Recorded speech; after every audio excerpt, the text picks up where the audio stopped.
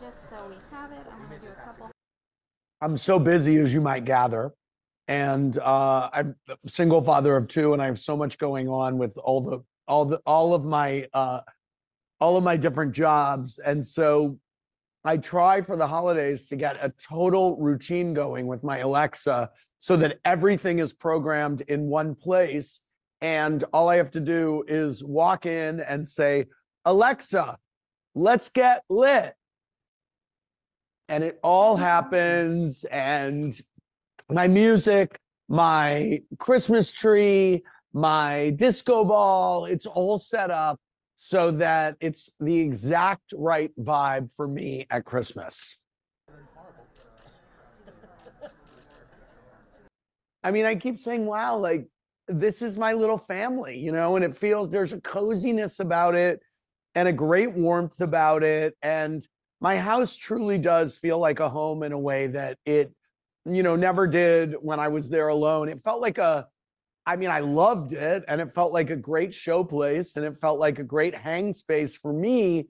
But now it really feels like a home.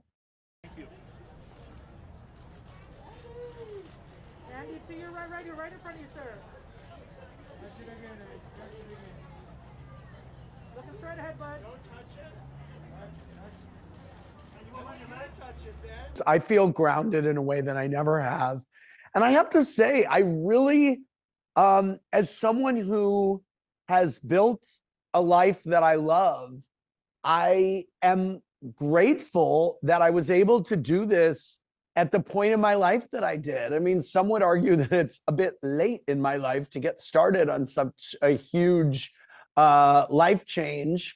But um, I feel calm in a way, you know, at 50 that I wasn't at 40. And at, at 40, having kids was a concept in my mind that I thought I wanted, but I, you know, in my mind, there was so much more work to do and there was so much more fun to be had. And now I'm able on a Friday night, I can sit at home in front of the fire with Ben looking at a Busytown book for an hour. And I'm like, great, I'm good. Uh, so, and that's in a way where, you know, years ago I would have been like, wait, there's a great party that I'm not at.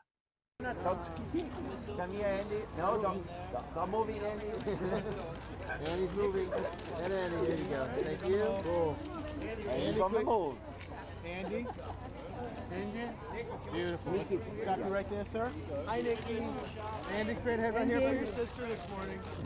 Andy. Andy. you know, just I'm teaching him. I mean, this year I think he'll understand Hanukkah in a way that he hasn't in the past. Uh, and um and you know, I think last year I showed him Charlie Brown Christmas and The Grinch, and they were, I think he was just, he was almost three, and I think they were a little boring to him. He didn't really understand uh, necessarily what was happening. And this year he will totally get them. So I'm excited about that and to show him Rudolph the Red-Nosed Reindeer and all that stuff. Thank you.